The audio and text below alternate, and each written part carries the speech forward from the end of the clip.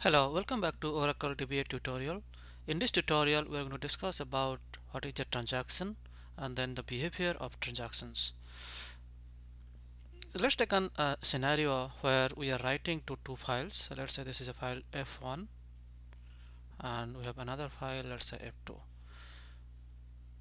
So what I'm going to do here is in F1, I'm going to write if any new employees come and join my company, then I'm going to write their name and then you know their salary and then their all the information in file 1 and whenever in file 1 I, I write a new employee and then I'll count how many total number of employees are there and then I'll keep that count in file f2 so let's say I have three employees uh, you know in my system. So A B and C. And therefore in uh, A, B and C and then their say salary is 100, 200, 300 and then the total number of employees are 3 so therefore the count here is 3 alright?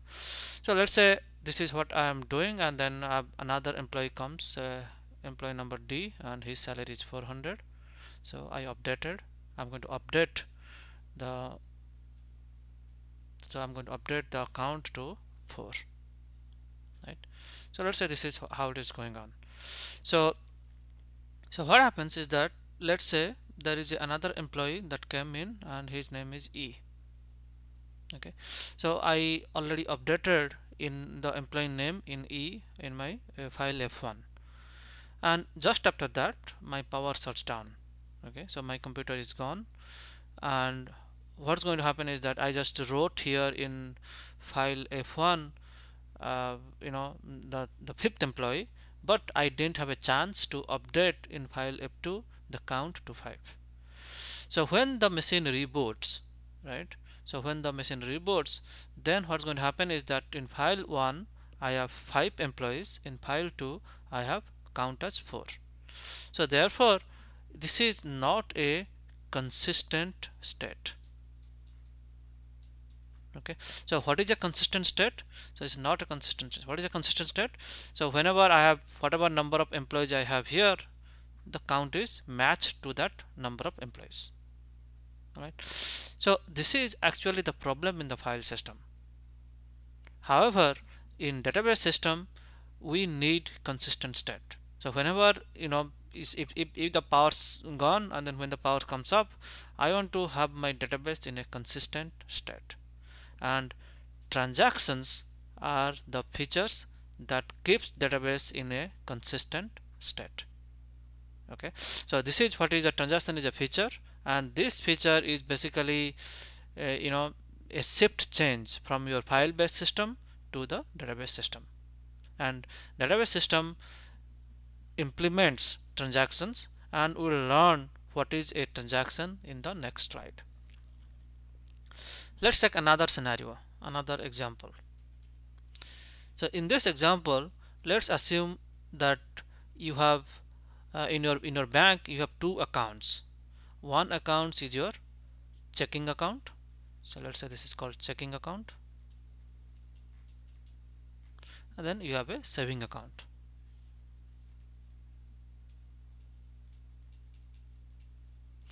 So what you're doing is that let's say in your checking account you have 5000 you have $5000 in your checking account and then on your saving account let's say you have $4000 all right so what i'm what i'm telling you you're told so so you are told to transfer dollar thousand from checking to your saving account. All right so if you want to do this is the work that you have to do this is a task that you have to do. To do this task what are the steps that is involved? And those steps are number one first thing is that you read how much in my checking account in my C account okay. Then the next step that probably you're going to do you are going to deduct 1000 from whatever you got in step 1 so whatever you read in step 1 so you deduct 1000 from that. Deduct 1000 from C account. Then the next step that we're going to do write the deducted uh, after you deducted whatever the amount so write that new amount in checking account. Then step 4 is will be read saving account deduct sorry addition add. So add dollar 1000 to saving account. And then the last step would be write. So write the new amount in the saving account. So these are the six steps that you are going to do in order to achieve this task of transferring $1000 from your checking account to your saving account. And essentially what what is going to happen is that all these steps together this is called a transaction. Okay? So transaction is basically steps to achieve a task. Okay? So transaction consists of multiple steps or it can consist one step. That's not a, not a, not an issue. Okay? So multiple steps. So those steps together called a transaction and let's do couple of observation. So what I want what I have observed here is couple of things like the first observation number one. So so what I say is that let's say I deduct 5000 so it so this become so let's see like now, what is the total amount at, at the start? The total amount before I do any of these steps is dollar 9000 right? Together checking and saving and then what I did I deduct 1000 from here. So therefore the new amount here became 4000 and the new amount here become 5000 so what is the sum again? Is dollar 9000 okay. So therefore the sum of checking and saving remains what was before. All right and this is called consistency property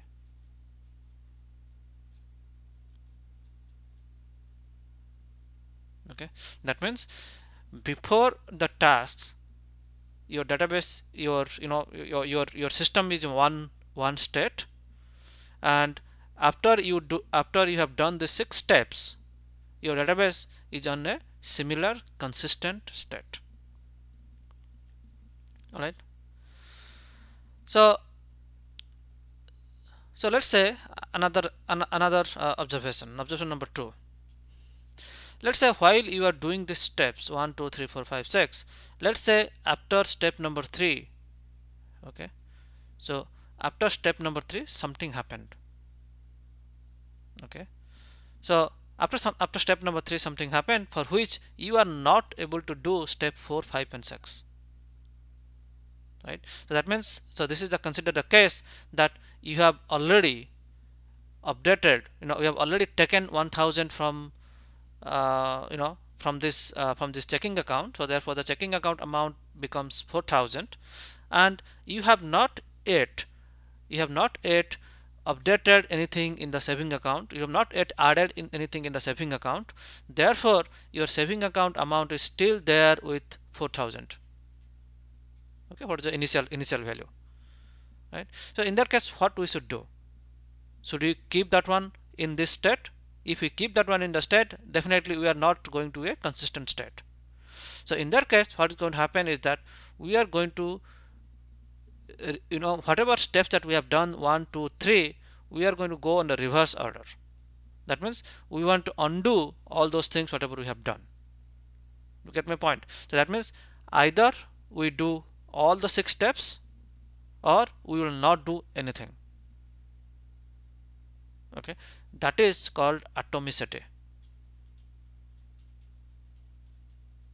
Okay? So essentially the atomicity attribute or atomicity property makes sure that the transaction will be done in full or the transaction will never be done. That means if you do if you start from step 1 you finish step 6 or if you cannot finish for whatever reason then get it back. You know don't do anything that means in this case I have done this one two three steps. What I'm going to do I'm going to add 1000 because you know I have subtracted 1000 so then I'm going to reverse I'm going to add 5000 and write that 5000 to back. Okay? And then that property is called atomicity. And then transaction has that that property. Okay. Number three. Number three property is like say for example you you have done all this six uh, or you know whatever the six steps that that we have explained here. So you have done all these six steps. After you completed all the six steps then you are telling back to the peop to the person who has given you this task. So you are saying that my task is complete. So when you say that your task is complete then this is how it should be it should be looking like. So when you say that my task is complete so it was like you know this started at 5000 and this is what initial amount is 5000 here and initial amount is 4000 here.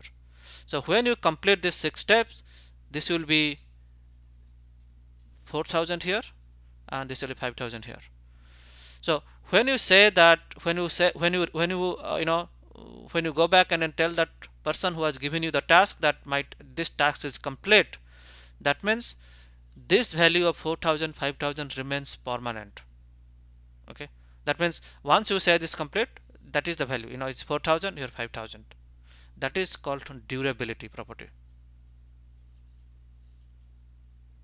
Okay? So that means after the step 6 the the amount of checking the amount of saving is permanent. All right number 4 so number 4 number 4 observation is this. Let's say when you are doing this task that you know you are told to get thousand dollar from this thing this let's say this is a task one.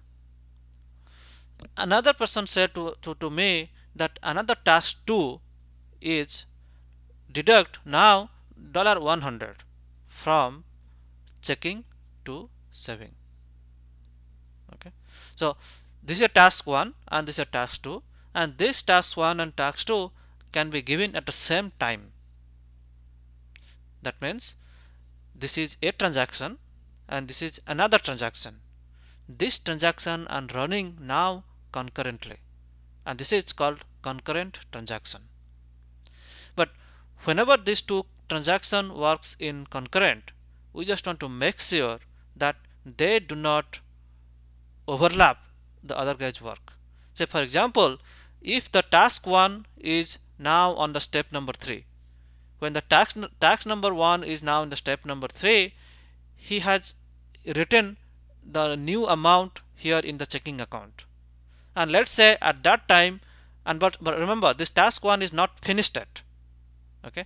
Then task 2 started. In a task 2 when it starts so it is going to go on and read the amount in this checking account. But whatever amount he is going to read in the checking account that should not be the amount what happened the step 3 he should see the the, the person who is doing the task 2 he should see what was the amount at the start of the game. So at, at the start of the first transaction whatever the amount that amount is going to say. He is not going to see any intermediary result. That means the transaction will happen in isolation okay. So these are the four fundamental properties of a transaction which is called ACID properties. Atomicity consistency isolation and durability. And oracle is going to oracle is implemented or any database in, in fact is implemented to to to respect these acid properties or to basically they all implement whenever they say that we are going to have transaction the transaction by default will observe all these four properties that we have explained you at, at this time. So so now you understand what is a transaction and also you understand what is a concurrent transaction. Then how oracle is going to manage these transactions? These transactions are managed by SQL statement called transaction control language. And what is a transaction control language? They are commit rollback save point. So let's say you start your transaction at this point you don't have to give any begin trans or any trans. Anytime you, when you start as SQL statement so that's how the beginning of your transaction. Until you do a commit or you do a rollback. Okay? So until you until you see this thing that's a, that is the end of a logical transaction. Also whenever you are writing a DDL like create table okay? So that time also it is going to do it is going to end the transaction right so now if if this is a timeline so basically this is a, you know like you know your task that whatever i've given you in this thing six steps right? So this is a step one step two step three step four step five step six and then we give a commit to complete the transaction. If for whatever reason in step 3 we say that okay we cannot do any more step 4 step 5 step 6 then we give here a statement called rollback if you give a rollback it's going to going to redo whatever things are done step 1 step 2 step 3 it will nullify it and then we'll go back for whatever was the database state at the time of starting. Okay? So using this commit rollback and then save point is something like you know you can in, in a rollback you roll back to the last commit point.